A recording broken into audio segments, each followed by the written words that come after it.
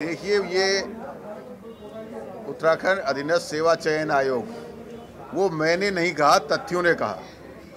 और तथ्यों ने स्पष्ट किया कि भ्रष्टाचार है और उसकी जाँच होनी चाहिए, युवाओं के भविष्य को सुरक्षित किया जाना चाहिए। और सरकार खुद कहती कि 45 लोग हमने गिरफ़्तार किए, लेकिन कमज़ोर पैरवी से 25 से ज़्यादा लोग छूट गए हैं। अब यही तथ्य कह रहे हैं कि लोक सेवा आयोग में भी भ्रष्टाचार की जड़ें फैली हुई हैं।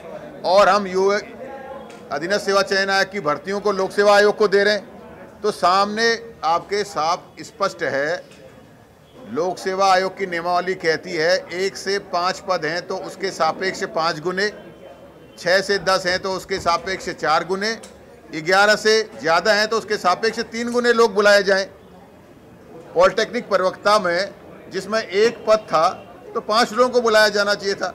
उन्होंने आठ लोगों को बुलाया और आठवें को सिलेक्ट कर दिया। तो साफ़ भ्रष्टाचार दिख रहा है। अभी एक छात्र ने अपनी कॉपी मांगी है, उस कॉपी में साफ़ साफ़ कटिंग दिख रही है, जो कि उनकी नियमावली कहती है कि रीचेकिंग होती नहीं है रिकाउंटिंग होती है, और काट छांट नहीं होनी चाहिए, वो नियम के विरुद्ध है। तो बाहर जो अंक तालिका में नंबर भरे गए, वहाँ कटिंग है, अंदर अलग अलग कटिंग है, साफ़ दिखाई दे रहा है तो भ्रष्टाचार स्पष्ट हो रहा है। उसके साथ ही जो अभी जेई और एई का रिज़ल्ट निकाला है तो जेई के एक सौ सत्तर, छिहत्तर पदों के सापेक्ष तीन बुलाए, एई के तीन गुने बुलाए हैं, वो नियम के साथ है। लेकिन जेई के सात सौ छिहत्तर पदों के सापेक्ष सैंतीस सौ इक्कीस लोग बुला दिए पाँच गुने तो साफ़ दिख रहा है वो नियम के विरुद्ध है। नियम के विरुद्ध है, अर्थात नीचे के लोगों को जो है शामिल करने की तैयारी है। सौ नंबर का जो है वाइबा है तो सौ नंबर के इंटरव्यू में बहुत बड़ा हेरफेर हो सकता है।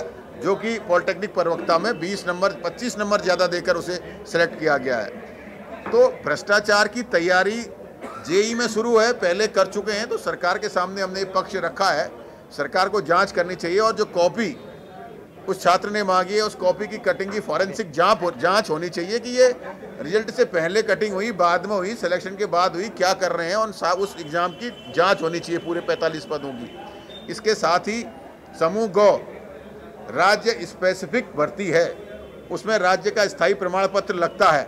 लेकिन लोक सेवा आयोग के यहाँ जाते ही राज्य का स्थायी प्रमाण पत्र के साथ ही oblique tenth plus twelfth education कर दिया। तो यहाँ तो उत्तराखंड में टेंथ ट्वेल्थ पढ़ने के लिए देश भर के लोग आते हैं तो हमारे उत्तराखंड के युवाओं के अधिकारों पर डाका डलवाने की तैयारी कर रहा है लोक सेवा आयोग। तो सरकार को सख्ती से सिर्फ़ स्थायी निवास प्रमाण पत्र ही रखना चाहिए। हमसे जुड़े रहने के लिए हमारे YouTube चैनल को सब्सक्राइब करें और नई वीडियो की नोटिफिकेशन के लिए बेल आइकॉन को दबाएँ। अगर आप ये वीडियो Facebook पर देख रहे हैं तो लाइक ज़रूर करें और ज़्यादा से ज़्यादा शेयर करें धन्यवाद